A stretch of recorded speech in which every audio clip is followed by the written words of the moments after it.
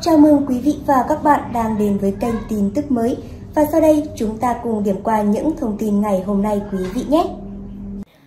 Mạnh Quỳnh từng hài hước gọi Phi Nhung là vợ không bao giờ cưới của mình. Cụ thể, nam ca sĩ Mạnh Quỳnh đã diễn ra một số bài hát, thì Phi Nhung mời đến, anh hài hước giới thiệu bạn diễn lên sân khấu. Xin mời một người bạn rất là thân, một người vợ không bao giờ cười. Sau khi Phi Nhung bước lên sân khấu, Mạnh Quỳnh đã chủ động lau đi vết son dính trên răng và mồ hôi trên trán của vợ. Anh khoe số tiền khán giả vừa tặng và gửi lại cho Phi Nhung về lo cho con cái.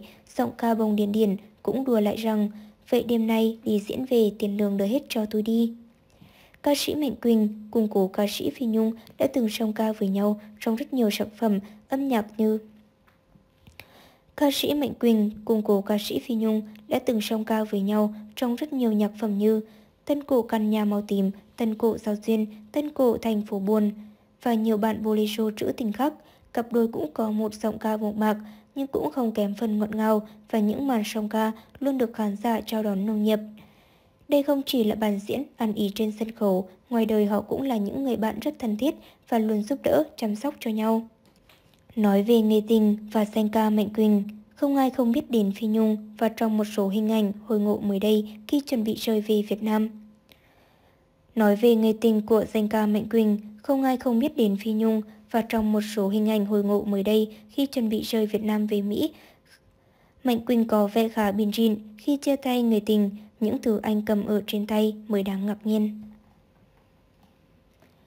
Hiếm có cặp đôi hải ngoại nào như Mạnh Quỳnh, Phi Nhung mỗi lần xuất hiện đều khiến khán giả tan chảy bởi những ca khúc tình cảm giá diết và sâu lắng. Không chỉ vậy, sự quan tâm ngọt ngào mà cả hai thể hiện trên sân khấu cũng trở thành cảm xúc đặc biệt, khiến người hâm mộ khó rơi mắt. Rời sân khấu đến đời thực, khán giả cũng không ít lần bắt gặp.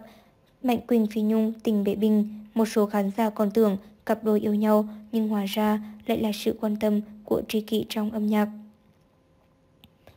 Mạnh Quỳnh từng tâm sự, đúng là tôi và Phi Nhung rất thân thiết, nhưng nói chính xác hơn thì mối quan hệ này chỉ dừng lại ở một tình bạn tri kỷ. Có thể do chúng tôi đã quá hiểu nhau, diễn quá ăn ý, tình từ với nhau trên sân khấu, nên không thể yêu nhau ngoài đời thật. Được khán giả yêu thích khi hát chung, nhưng ca sĩ Mạnh Quỳnh khẳng định chị xem ca sĩ Phi Nhung là bạn tri kỷ, bà xã của nam ca sĩ cũng luôn yên tâm về mối tình trên sân khấu của Mạnh Quỳnh Phi Nhung.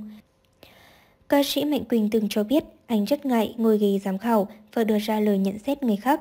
Chính vì thế, khi nhận lời làm giám khảo cuộc thi solo cùng Bolero, anh chia sẻ đối với tôi, việc làm giám khảo rất khổ vì tôi sợ làm tổn thương người khác, tôi sợ mình nói thẳng quà sẽ khiến thí sinh buồn.